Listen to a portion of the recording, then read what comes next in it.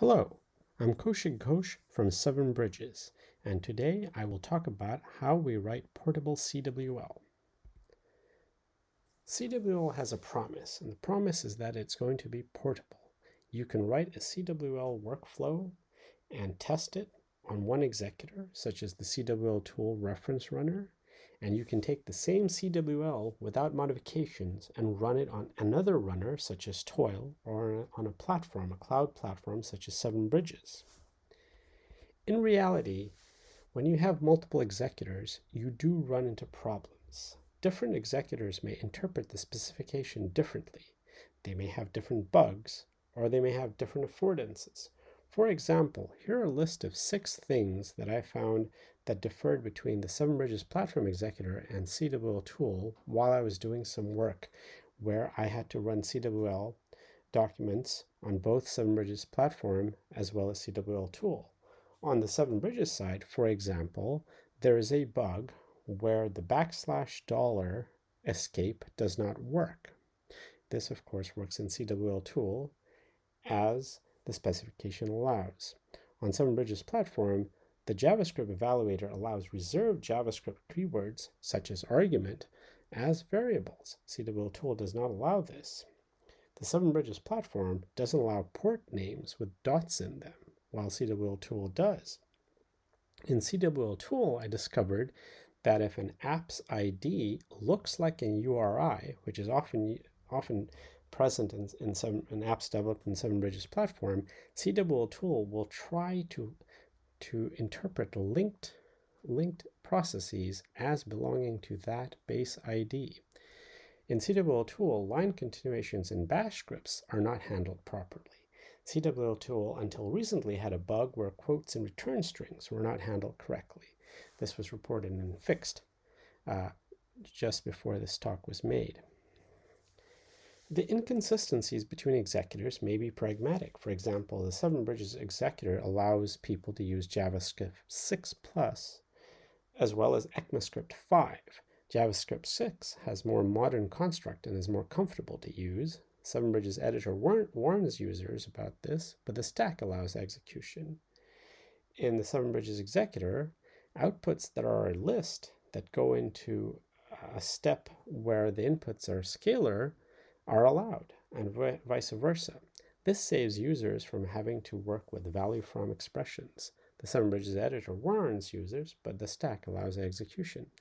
These become issues when users have to run the CWL off platform on stricter executors like CWL tool. This is not a problem specific to CWL. Any standard that has multiple implementations will always have, in practice, variations in the coverage and sometimes behavior of the implementation. For example, there are many browsers, and for this reason we have something called an ACID test that allows us to test whether a given browser covers how much of, of, of the HTML specification a given browser interprets and interprets correctly.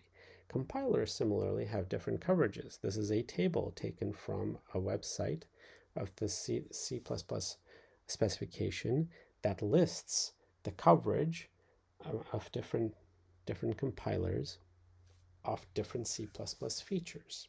As, as you can see, not all compilers support all C++ features. A pragmatic solution to the problem of writing CWL such that it runs on multiple platforms without problems is simply to test CWL on multiple platforms as you develop it. This is very similar to writing portable C++, where you would write, you would probably develop C++ on one machine, such as your Mac, and then test it on other platforms such as Linux and Windows. To start with, we should collect small data sets. I have found that this can be the hardest path part for bioinformatics applications. After you've collected small data sets, you should build a test suite which tests different aspects of the CWL that you are developing. Once you have the da data set and the test suite, you should write your CWL and then test it simultaneously on multiple platforms. In my case, I was testing on CWL tool and, and the Seven Bridges platform simultaneously. In practice, testing on more than one platform usually works very nicely and can be extended. For this purpose, it is very advantage, advantageous to use continuous integration to take away the burden of having to manually run tests and test cases. In general, after you've run your CWL on one or more platforms, you should ask the question, did, did the tests pass? If they passed on all platforms, there are no problems with the CWL, or, and you're not running into bugs in any of the executors, and you can commit the version and continue working. If, however, you run into a problem on one or more of your platforms that you're testing on, you should ask the question, is the CWL okay? If the CWL is not okay, then you should go back and fix the CWL, which goes without saying. An interesting question arises if the test passes on one platform and fails another platform, and you discovered that the CWL is incorrect, then you have uncovered a bug on one or the other platform and you should report these bugs. The next process is if you find that the CWL you have written is correct according to the specification as best as you can understand it, and it passes on one of the platforms but not on the other, then you have to find a way to write, rewrite the CWL so that it passes on both platforms. And of course, you should open a support ticket or an issue based on which platform was failing your correct CWL. The task of writing CWL so that it passes on both platforms can be annoying, but in the end, in my experience, I've always found a way to write CWL simply where it runs on both CWL tool and on the Seven Bridges platform executor. So in short, some pragmatic practices to ensure that you run portable CWL, so you create portable CWL, is to collect a small test data, build a test suite, ideally a small a set of small tests that checks different aspects of the workflow, use version control, for example, Git, and use some sort of continuous integration, for example, GitHub Actions, that allow you to trigger test runs on multiple platforms with each each commit automatically.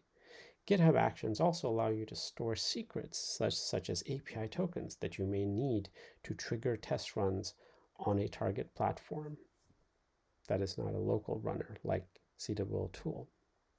Long-term solutions are to deepen conformance tests, widen, widen and deepen the conformance tests, clarify any ambiguities in the specification, and also to publish a CWL conformance matrix like that available for C++ that allows people to identify parts of C CWL that they would like to avoid if they know they're going to be running on a platform that doesn't support those aspects of CWL.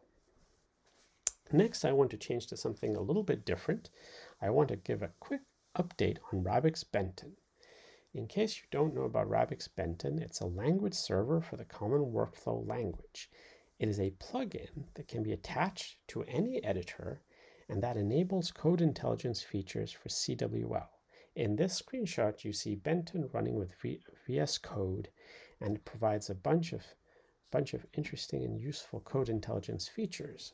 For example, it offers syntax highlighting both for CWL and for JavaScript. It offers uh, to evaluate expressions on hover using synthetic synthetically generated inputs. There are file path completions for linked files in, in the run field. It will offer to do port completions for you in workflows. It will offer to do, it will supply you with port validations, flagging incorrect ports. Uh, if you right click on a run field on a linked file and click go to definition, it will open the linked file in a new tab. Because it is a language server, it works with a variety of editors. In this case, here is a screenshot of Benten running with the VI editor. Since 2019, which was the last time uh, there was a talk on Rabix Benten, there have been a number of updates. For one, we have we now have CWL 1.2 support. We also have format document via, via the CWL format program and we have CWL documentation on hover. So if you hover over a CWL keyword or a CWL field, the documentation from the specification will, will pop up. Also now, thanks to a contribution from Peter Amstutz, we have auto install of language server for VS Code. So if you go to VS Code and install the Benten plugin from the marketplace, Benten will automatically detect the correct version of the server it needs for your operating system and download it from the, from the distribution on GitHub. Uh, thank you, and if you have any questions, please do not hesitate to email me at this address. I hope you have a good day.